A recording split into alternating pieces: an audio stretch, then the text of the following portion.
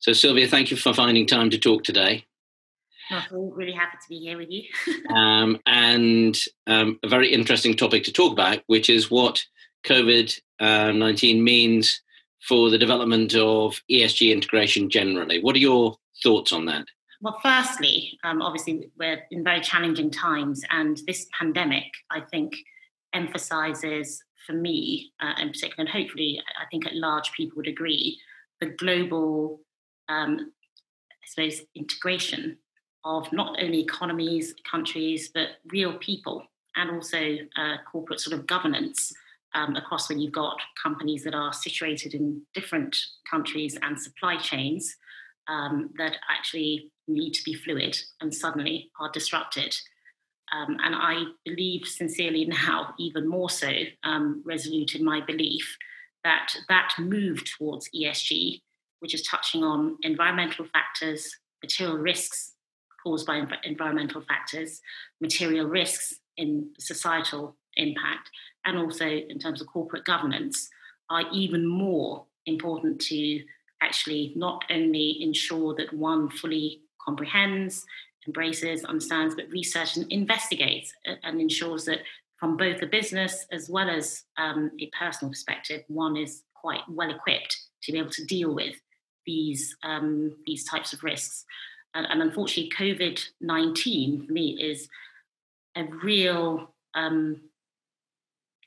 ex- expression, almost, if I can put it that way, of a material risk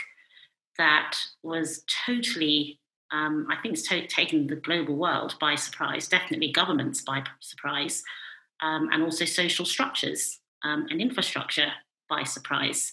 Um, and, and, these are types of things that typically maybe you know, one couldn't have foreseen, given that it was over 100 years since we had the Spanish flu, that actually, I suppose, is the most relevant and most, I suppose, similar sort of um, epidemic or pandemic that, that has affected businesses then and, and, and now in people. Um, but because it was so long ago, I think in terms of corporate um, knowledge, corporate tools, corporate um, activity, in ensuring that one, as I say, is robustly positioned to be able to absorb that type of shock, um, is, is, is actually glaringly obvious now for investors, institutional investors, who even in this time, we still, even as you know, to the individual. We are all investors at the end of the day, when you know, even in our day jobs, because we have to think about the future. Um, and you know what we do as investment professionals, as you know well, it's all about the net present value of future value creation um, that we we hope um, to to attain or to achieve, uh, which is evidence in pension funds or insurance company portfolios and the rest. So I do think that what I think is interesting um, further to that is that Morningstar very recently published uh, first quarter performance tables. And it's interesting to see that there is already starting to be um, a clear uh, difference in performance for companies that have been very vocal um, in their, uh, I suppose, um, in their will and their need to be sustainable to those that haven't been as explicit. Um, and sometimes, you know, it's, you know, the old adage, you know, put your money where your mouth is. And sometimes when you express something, and as we know in the city, sort of, you know, your word should be your bond. When you actually sort of vocalize sometimes that, that narrative, it actually helps in the formation of, you know, company culture. And, and you're more sort of, um, I think, likely, hopefully, to adhere because you know you'll be pulled up if you if you are falling short. So I think that sort of trend, as it were, that, that looked as if you know it was already. It, I felt very much, and especially with the work we've been doing with the CFA, um, with the actual qualification and development of a formal certificate. It, we could tell from all the panel members, which really were representative across the spectrum of our industry in terms of stakeholders, both on the buy side, sell side, and those who actually do the allocation as well that that was something that was being embraced and something that people were taking rather seriously. And I just feel that that trend is going to be accelerated because those that had already started, I think, actually better positioned to assess where they are now, what the impact has been, and where they need to be moving um, towards uh, going forward. And if you're not prepared, um, hopefully, you know, the CFA material would have helped, I think, somewhat with that. Now's the time to really try and see sort of where you can fill in the knowledge gaps and get yourself in a position to really um, come, out, come out of this um, in a better place and really, you know, I suppose position your resources to be able to build something that is sustainable, that can sustain this type of environment, you know, with the yeah. pandemic. We had we had a bit on sort of um, the global nature of um, corporate activity and supply chains and supply chain risk, and we had a certain amount on sort of healthcare um, already in the syllabus. Do you think that as a consequence of this, um, obviously we have version two almost finished, but version three, what would you what do you think we might be adding in version three as a consequence of COVID nineteen? Uh, I, I, think you know, version two, I'm quite excited about actually because we did actually spend a bit more time um, on global trends, not necessarily the pandemic,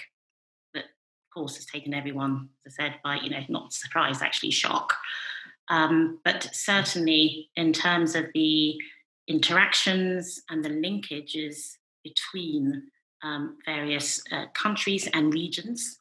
um, we try to test sort of our models and our thesis to see what would happen, you know, in the what if scenarios. And I think what is really and, and hopefully um, will be appreciated by those who do decide to take that particular qualification that we we actually use a number of case studies which today i don't want to mention them but they are very topical in the press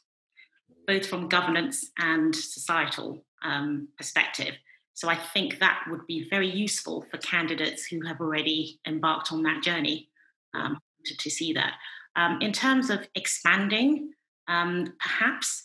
um,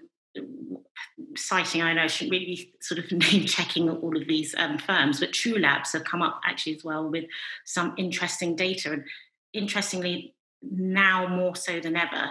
where there are more data points coming up, ESG, especially on societal level, which weren't there before. And one of the real, I suppose, drawbacks in terms of ESG that people who have been a bit more resistant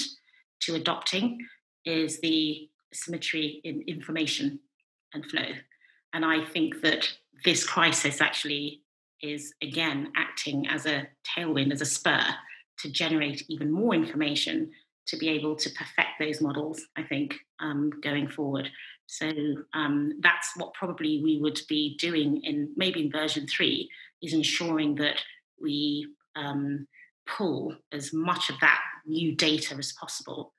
and, and, and to keep obviously as, as we like to do as a society overall, not just within ESG, to be um, at the forefront of, of, what's actually going on. I mean, this is a, a, an exam that was developed by practitioners for practitioners. So it's real, it's fast moving, and we have to ensure that that that material reflects that and that's what we're doing